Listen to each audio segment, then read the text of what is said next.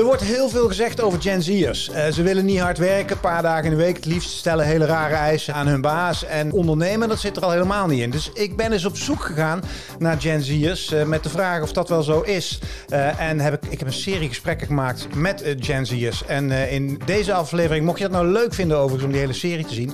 abonneer je dan op CVD, hè, het kanaal voor ondernemers. In deze video een gesprek met een Gen Z'er, met Ruben Havet. Welkom bij CVD TV. Ruben van harte welkom. Dankjewel. Leuk dat je er bent. Uh, misschien een klein beetje context, want we gingen eigenlijk gewoon koffie drinken. Ja. En toen zei ik in één keer, fuck ja, jij bent, jij bent Gen Z'er. Ik ben er een, zullen we de ook, zullen we de, in het wild, zullen we de camera aanzetten? Ja. En toen zei jij, en dat, dat, toen werd ik wel weer een beetje trots, zei je, dat, nou, ik moet je zeggen, ik heb ooit een lijstje gemaakt, want ik wilde eigenlijk ooit een keer geïnterviewd worden op CVD. Vertel eens. Ja, ja een stapje terug denk ik. Een jonge ondernemer natuurlijk. Ja. En dan heb je hele grote doelen. Eh, maar tussen die grote doelen heb je natuurlijk ook subdoelen. Dat is dan jammer dit. Ja, Maar, nee, is dat zo? Nee, nee joh, het is toch super. En uh, zodoende had ik wel zoiets van... Hè, alle ondernemers en alle lessen die je ziet, die volg ik altijd via jou. Ja. En toen dacht ik van ja, ooit moet ik natuurlijk wel die grote ondernemer zijn die dan geïnterviewd wordt op dat kanaal. Ja. Dus zodoende, uh, ja, het is wel mooi dat het nu al gebeurt. Ja, dus dat wist je niet toen je naartoe reed vanochtend. Het gaat toch gebeuren. Ik, ik zei al bij de intro, uh, er zijn veel misverstanden over Gen Z'ers. Zijn het veel misverstanden, vind jij? Uh, ik denk het wel. Ja, ik denk het wel. Want laten we maar eens gewoon gaan belichten wie jij bent en wat jij doet. Dat is denk de beste manier om te laten zien wat, wat een Gen Z'er is. Hoe oud ben je? 22. Ja, en wil je altijd ondernemer worden? Ja, dat wel. Kom Altijd. Jij, kom jij de ondernemersnest? Nee, eigenlijk niet. Eigenlijk totaal niet zelfs. Nee? Uh, maar wel niet de makkelijkste jeugd gehad. Dus dat je altijd hè, je, jezelf moet redden. En okay. zodoende dacht ik van, hé, ik, ik moet wel mijn eigen... Poontjes doppen. Ja. Maar kun je er iets over vertellen? Of is dat, uh, ja, als... opgegroeid zonder vader. Hm. Dus uh, altijd alleen mijn moeder gehad. Oké. En ja, niet, ik heb het niet als vervelend ervaren of zo. Alleen het was daardoor wel, uh, het noodzaak was er altijd. En ik denk, als je het hebt over misvattingen, heel veel mensen tegenwoordig nu hebben geen noodzaak. Om? Om, om te, te ondernemen of te, hè, ik bedoel, een werkgever, het, hè, het liefst wil iedereen maar drie uurtjes werk per dag en de rest lekker op het strand zit. Dus de noodzaak is minder groot. Ja. En die was er bij jullie thuis wel, omdat er gewoon brood op plank moest, bedoel je dat? Nee, dat niet per se. Hm? Uh, maar ik zag dat er altijd een enorme leegte was. Dus eh, ik had die vader niet. Uh, ik had niet de vader die me meenam naar de hockey of de voetbal. plus, ik had dan een pas voor auto's. Dat vond ik altijd wel mooi. Dus ik dacht, ja, die auto die wil ik wel een keer gaan rijden. Dus daar moet ik dan ook wat voor gaan doen. Ja. En ja, zo doen. Dus je miste eigenlijk zeg maar, de, de, je, de vaderrol ja. die, waar normaliter van allerhande dingen in zitten. Ja. die, die had jij allemaal niet. Die had ik niet. Dus die moest ik voor mezelf gaan invullen. Ja, ja. Dus, uh, en ik denk dat daar de, de, de wil uh, is ontstaan. Mm -hmm. En ja, nu 22, dus ik ben net klaar met, me, met mijn studie. Ja, want je bent wel gaan studeren, dat ja. zei je net al even. Want, want je had al, al vrij snel ondernemersplannen ja. en ambities. Waarom gaan studeren? Um, nou, ik ben voordat ik ga studeren, toen had ik een klein bedrijfje, een naam en een idee. Ja. En voordat ik de markt op ging, toen kreeg ik een dag voordat ik live ging, kreeg ik een bezwaar van het bedrijf uh, met een vergelijkbare naam. Ah, je had een domeinnaam geclaimd. Ja. ja. En ik had, je had geen onderzoek gedaan bij het merkenbureau? Of, uh... Jawel, alleen ah. uh, ik, ik zat andere klassen ingeschreven, dus ik ja. dacht dat gaat net. Ja. En dat ging natuurlijk net niet. Ja. En toen kreeg ik dus bezwaar. Maar ik dacht dat het negatief was. Alleen ze zeiden van, ja, we willen je gewoon overnemen. We willen gewoon dat naam met die logo willen gewoon overnemen. Oh, dus, en niet alleen domein, maar je had ook al een logo en zo. Ja. Dat wil, maar het was verder leeg. Het was helemaal niks. Maar wat deed het dan? Wat zou het moeten gaan doen? Het was uh, de bedoeling om accessoires in en rondom het huis... Uh, ja, dat. En dat heette dan Morrent, heette het. Hoe? Morrent heette het. Morrent. Morrent. En uh, waarom? Omdat ik eigenlijk moment wou. En ik wou eigenlijk de kleine dingen... wou ik leven in het moment. Of zie de dingen in het moment. Dus hè, een, een, een glas of zo. Dat ja. er een, een klein detail oog voor detail. Dat was het idee. Maar waarom dan morrend? Morrend is omdat Moment was al geclaimd. dus ik zat een beetje te kijken van, ja, wat, wat kan ik ervan maken? En toen uiteindelijk ben ik op Morrend uitgekomen. ik vond het op zich wel goed klikken, dus ik dacht, ik doe het gewoon. Logootje? Ja, logootje. Via gewoon uh, online, heel makkelijk. Ja. En het zag er heel professioneel uit. Ja. En toen, uh, ja, toen uiteindelijk onderhandeld. Ik had er niet heel veel geld in zitten. Maar, maar wie, kwam er dan, wie kwam er uh, achteraan dan? Of welk bedrijf wilde die naam? Morens, met een Ja. Z erachter. Ja. Ja. En die deed iets totaal anders. Ja. En die, eh, daar kreeg ik toen bezwaar van, ja. ja. En hoeveel had het gekost? Het grapje? Voor jezelf? Voor mezelf iets van 3000 euro, denk ik. en het handeltje verkocht voor? 10.000. Het was je? Ja, net 18. het was 17 toen het begon en 18... eh, dus toen hè, een beetje de eerste... Kon je een factuurtje sturen? Ja, Had je eenmanszaak? ik had een eenmanszaak. Daarna gelijk gestopt met de eenmanszaak ook. Geld eruit, opheffen. Ja. Ja, ja, ik heb hem toen nog een half jaar of zo aangehouden. En daarna toen... eh, want ik deed er eigenlijk niks mee, want ik had nog niet een nieuw ondernemersplan. Nee. En Maar wat toen, heeft die Morens, wat hebben die ermee gedaan dan? Nou, niks. Niks. Maar gewoon Ja. jou, jou uit de markt gehaald eigenlijk. Ja, Dat is het. En dat, dat gaf mij wel heel veel inspiratie. Omdat ik dacht van, ik ben heel jong. Eh, ik moest ook, want het ging via juristen wel. Dus ik moest eh, met de juristen toen... Daar keek mijn moeder heel erg van op ook. Die zei, en toen zei ik van ja, ik wil eigenlijk de eigenaar zelf wel even spreken. Dan ga ik hem het zelf samen even Ja. oplossen. Ja. Ik dacht, dat is logisch, dat is In makkelijk. plaats van een beetje met juristen. Ja, ik dacht, we kunnen beter even eh, onderling. En toen zei ik ook van ja, toen kreeg ik natuurlijk van, hè, wij denken dat we juridisch heel sterk staan. En toen zei ik als jong pikkie van, ja, ik denk dat ook. Terwijl zij, zij eh, voor de context, zij verkochten meubels van 30 tot 100.000 euro. Echt, echt groot. En ik dacht van ja, dan ga ik, ja, ik ga niet laten blijken dat dat me iets doet. Want dan, ja, dan hebben ze je sowieso, dacht ik. Ah.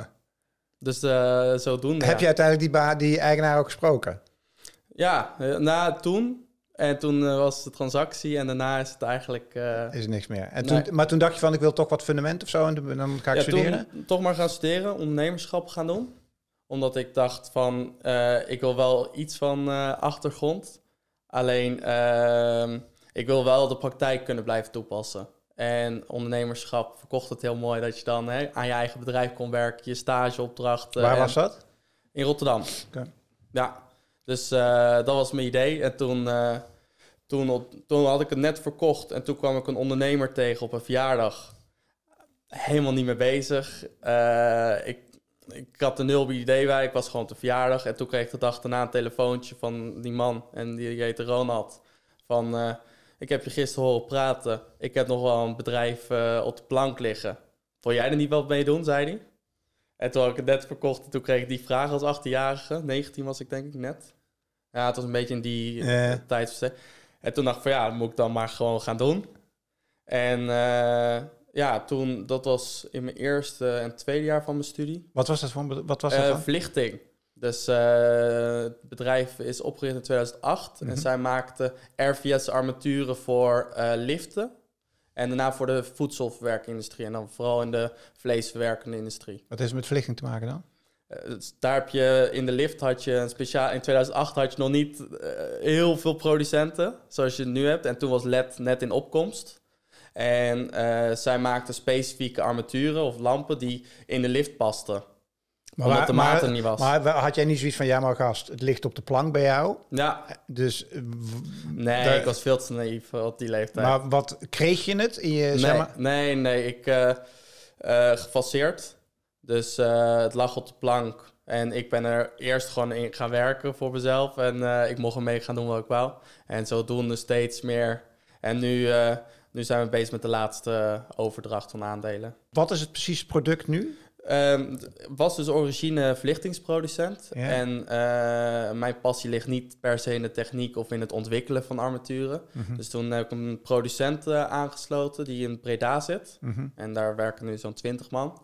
En eh, wij zijn meer een LED-projectverlichtingsbedrijf die de totale ontzorging doet. Hè, want eh, iedereen roept wel hè, eh, verduurzamen of... maar je ziet vaak dat ook installateurs nu, kleinere installateurs, die hebben het ontzettend druk. Die moeten van alles doen. Eh, waardoor hè, als ze een vraag krijgen van... Kan je even op die locatie kijken, kan je even een opname doen... en kan je dan eens gaan berekenen hoeveel het kost. Dan zegt 9 van de 10 installateurs momenteel... nee, dat ga ik niet doen, want dat zijn uren die ik niet kan factureren. Mhm. Dat zijn werkzaamheden waar ik niet heel warm van word. Mhm. En dat ga ik gewoon niet doen. Dus ik dacht, nou, dat is een mooie plek om mijn klanten binnen te halen. Dus wat wij doen is de installateur vooral ontzorgen. Mhm. En daarmee ook de eind, bedrijfsmatige eindgebruik. Dat is wel belangrijk om erbij te vermelden. Oké, maar kun je er al van leven? Ehm, ja, ja en nee. Ja en nee. Leg dat eens uit.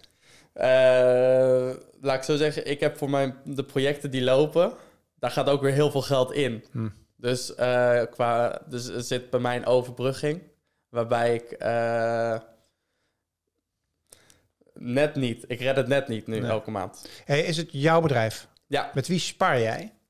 eh, leuk verhaal ook. Ik, ik heb hele grote doelen en hele grote droom waar we het al eerder over hadden. Dus ja, die moeten we nog even concreet maken Ja. zo meteen. En dat heeft iets te maken met een grote lijst waar ik ooit naartoe zou willen bewegen. Ben je de quote in, ja?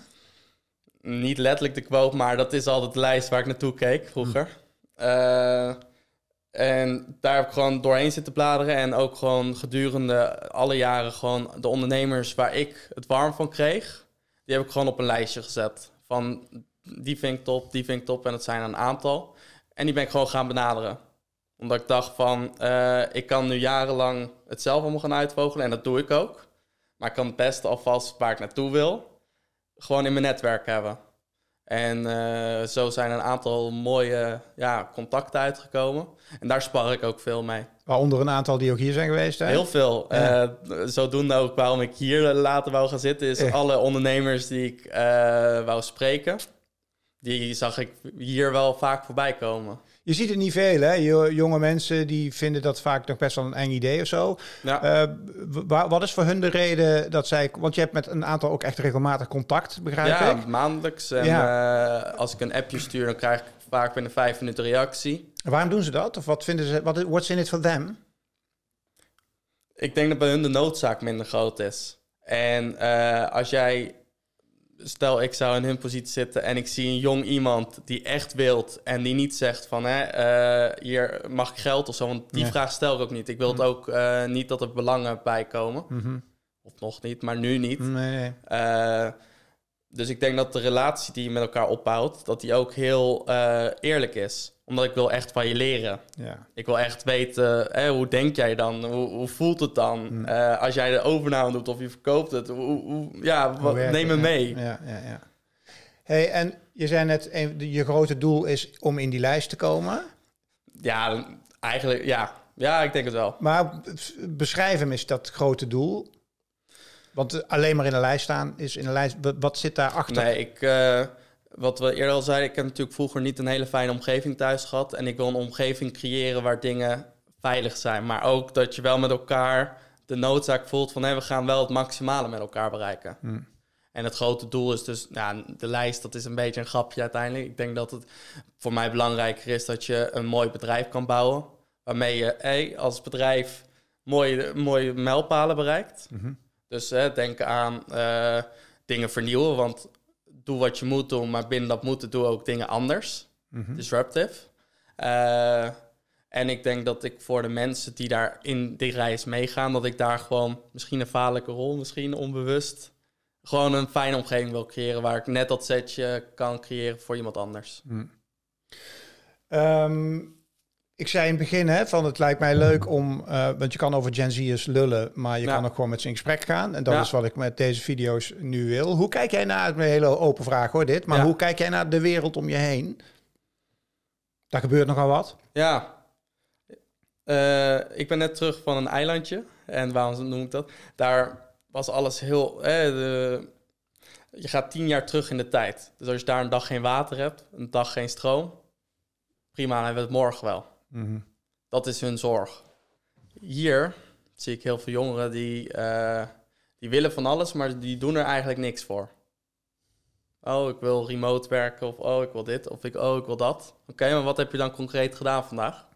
Ja, ik ben eerst even gaan sporten en toen ben ik even, even de socials aan het bijwerken. En ik heb een beetje het idee dat we niet realiseren dat eh, voor wat hoort wat ook. En dat is dat stukje noodzaak, denk ik. Zie jij voor jezelf een rol, denk je dat je impact kan maken op de wereld en de toekomst? Ja, zeker. Zeker als ik mijn directe omgeving zie. Eh, ik denk dat daar wel een groot verschil in zit. Hm. Want? Eh, nou, bijvoorbeeld het verhaal hè, dat we hier zitten, of Mhm. dat we bepaalde ondernemers spreken, of het manier van kijken naar het ondernemen aan zich. Eh, in mijn directe omgeving zie ik dat weinig tot niet gebeuren. Die zijn druk bezig met eh, Oh, hoe, hoe ziet het op Instagram eruit? Maar heb jij dan zitten, want hoe zien jouw vriendschappen eruit? Ik heb wel veel goede vrienden. Ja? Ehm, ik merk alleen wel dat ik niet degene ben die wekelijks in de kroeg staat of wekelijks. eh, nee, dat heb Hmm. ik niet minder. Dan zijn de ambities te groot voor of heb je te druk voor? Combinatie, denk ik. Ja. Want heb jij eh, qua bedrijfsmiddelen, even terug naar jouw onderneming, heb, jij, heb jij iets van een kantoor of eh, voorraden of hoeveel? Ja, voorraden die hadden we en die ben ik langzaam aan, aan het verkopen. Mhm. En daar ga ik ook minder mee doen omdat ik nu met die producent werk. Zodat je... eh, het motto van mijn bedrijf nu is, of de slogan is... voor elk licht een plan. En wat betekent dat? Is dat eh, verlichting kan op iedereen leveren momenteel. Het is ook toegankelijk.